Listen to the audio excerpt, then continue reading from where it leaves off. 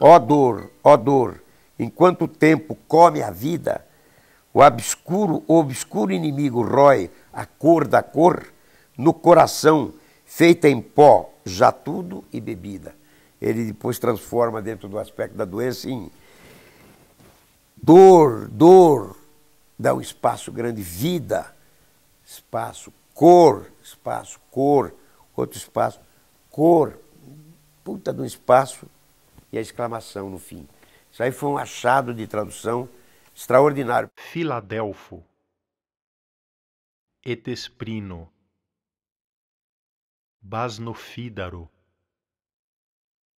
Asprolídio, Cusnelório, Miscaltreno, Encesvaldo, Jarúmio, Flesgrotaldo, Espelvírio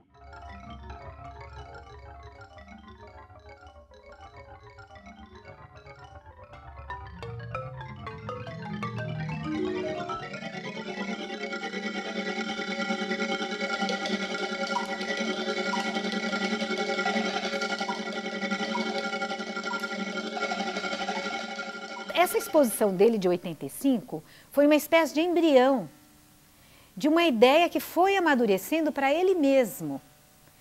Então, nesse manifesto que ele lançou, inclusive muita gente não entendeu o que o Filadélfia estava fazendo em 85. E eu acho que essa ideia é aquela que atravessa como um fio invisível toda a produção dele de poeta. Naquele tempo tinha acabado de ler os estudos do Eisenstein sobre é, Film Form e outros, e outros livros do, teóricos da teoria do ideograma ligado à poesia e à tomada cinematográfica, ele, tava, ele já estava muito preparado com aquela parca idade que ele tinha para os lances que ele veio a dar.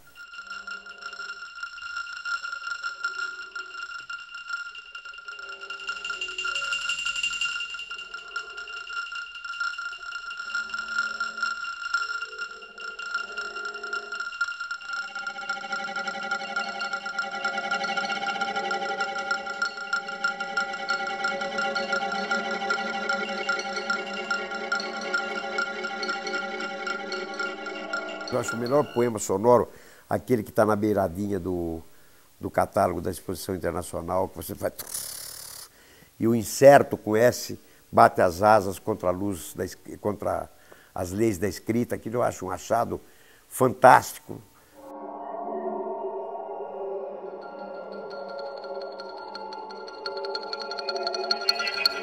Eu acreditava que nós tínhamos dentro do programa de comunicação e semiótica um pessoal com veia criativa, capaz de tomar conta daquele laboratório e realizar coisas dentro do laboratório.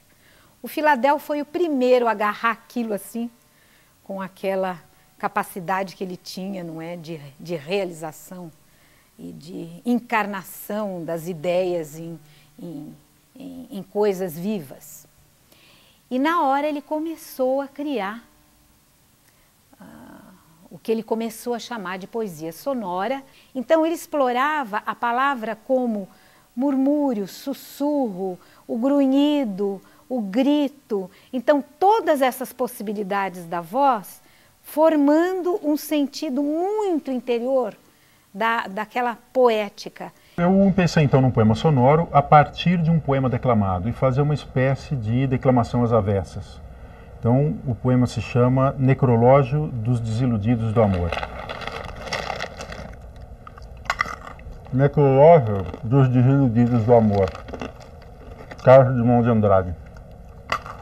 Os desiludidos do amor estão fechando tiros no peito.